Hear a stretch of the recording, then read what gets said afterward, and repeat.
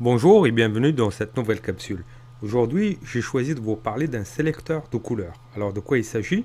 Tout simplement d'un sélecteur qui nous permet de savoir c'est quoi les codes des couleurs, de n'importe quelle couleur. Donc, allons-y. L'outil dont je veux vous parler s'appelle Color Cop. Donc, première des choses à faire, c'est d'aller le télécharger. Soit dit en passant, c'est un outil qui est euh, gratuit, donc un freeware, donc euh, pour utilisation personnelle, mais aussi éducative ou commerciale.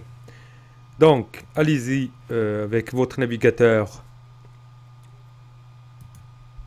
au site suivant, color en anglais, c o l o r cop, c o p.net. Donc on arrive au site officiel de cet petit outil. Je clique sur Download, télécharger, et je descends en bas.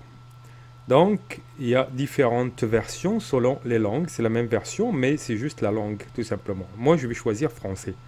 Donc, je viens ici et je j'enregistre localement. Donc, il est en format compressé. Donc, je vais l'enregistrer. Je vais le mettre dans un dossier pour pouvoir le retrouver. Outils. Je vais créer un dossier pour me retrouver plus tard.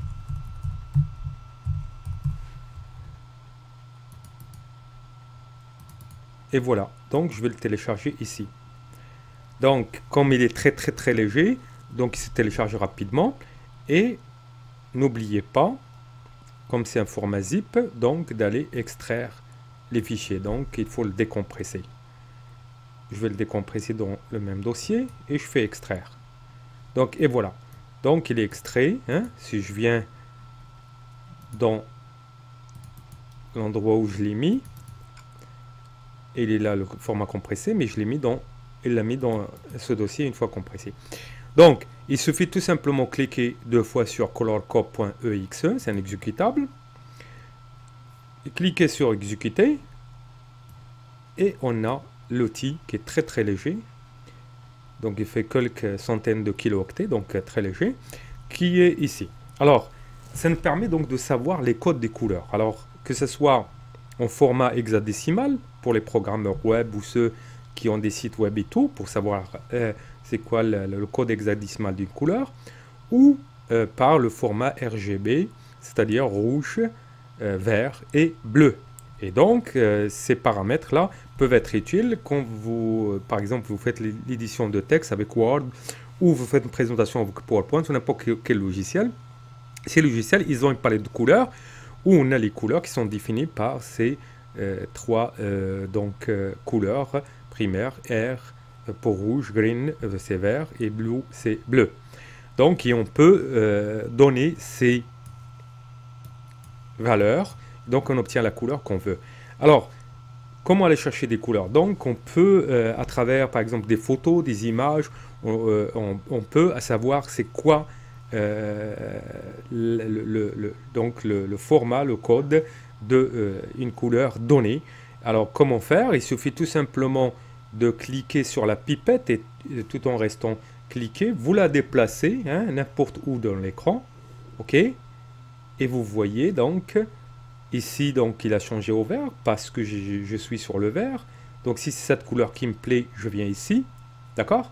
Donc je peux aller chercher les codes de n'importe quelle couleur euh, de ce que je vois à l'écran. Et donc ça c'est intéressant pour euh, avoir donc euh, la couleur qu'il me faut. Donc si je viens ici, donc si cette couleur qui me plaît, hop, je lâche tout simplement la pipette et donc j'ai ici le code hexadécimal de la couleur, qui soit dit en passant s'enregistre dans un presse-papier, ou les, donc, euh, les, valeurs de, euh, en, format des couleurs primaires. Donc voilà, donc j'espère que cette petite outil vous servira un jour. Et donc pour moi, je le trouve fort utile euh, pour beaucoup d'utilisation euh, pour jouer avec euh, des couleurs qui, me plaisent et, donc, et dont je veux savoir les codes. donc, soit dit en passant, il a déjà une palette ici que l'on peut s'amuser hein, pour savoir c'est quoi les couleurs, les couleurs de ces palettes. On peut même, si on veut, s'amuser, hein, si on a une image et tout, à aller chercher c'est quoi le code exact. Donc si je résume, donc je lance l'outil, hein, qui est, euh, soit dit en passant, un logiciel gratuit. Je clique en restant appuyé sur ma souris sur la pipette et je me balade donc n'importe où pour savoir les codes de couleur ou même si j'ai une image par exemple, ce qui n'est pas le cas ici, je peux avoir les, détails exacts d'une image et donc et voilà et donc je lâche et euh, j'ai mes codes. Voilà donc j'espère que cette petite outil vous servira un jour et je vous dis euh, à bientôt. Merci.